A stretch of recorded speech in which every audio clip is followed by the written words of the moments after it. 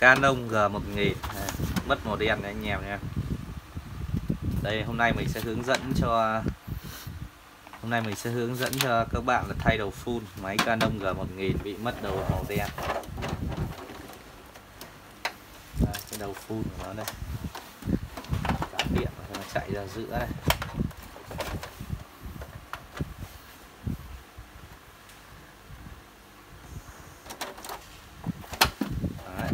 Đấy, là giữa này anh em rút điện ra.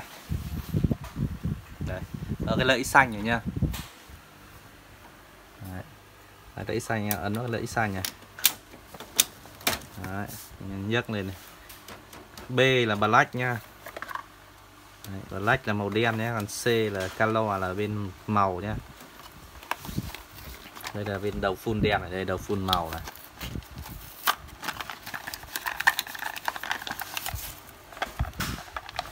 Đây.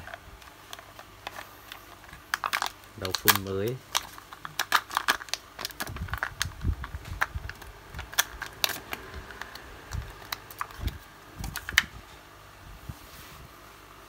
Đây, anh em chỉ việc nhấc đầu phun cũ ra.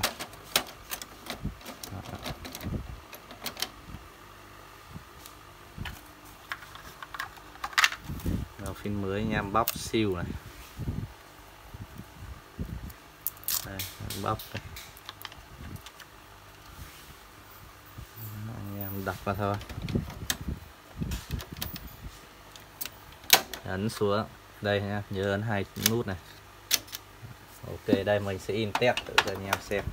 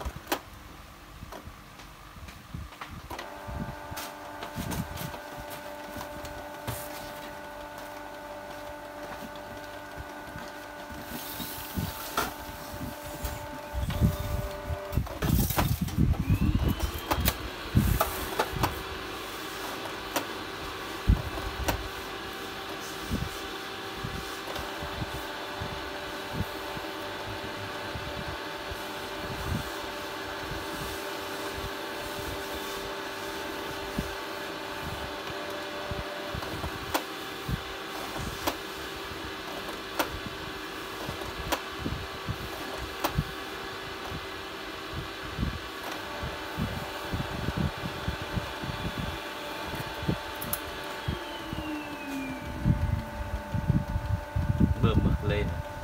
Đây là máy đang bơm mực lên ờ, đầu phun mới nhá.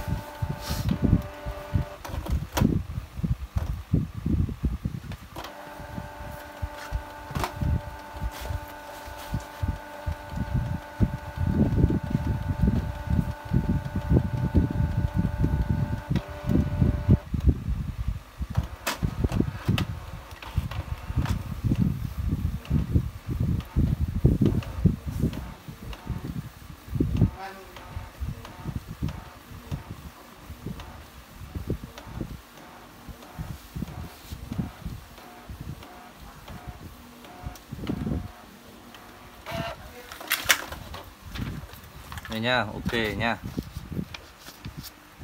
Đấy, các bạn xem đây là trước và sau khi thay đầu phun máy in ờ, Canon G1000 nếu các bạn thấy video hữu ích hãy cho mình một like và share. Cảm ơn các bạn đã theo dõi video của mình.